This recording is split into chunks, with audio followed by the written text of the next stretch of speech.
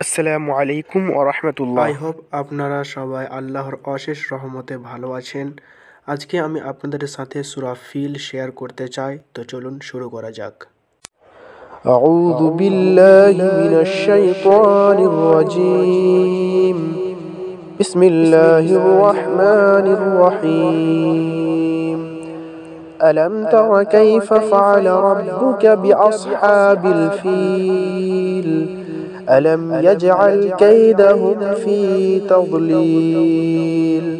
وأرسل عليهم طيرا أبابيل ترميهم بحجارة من سجيل فجعلهم كعصف مأكول.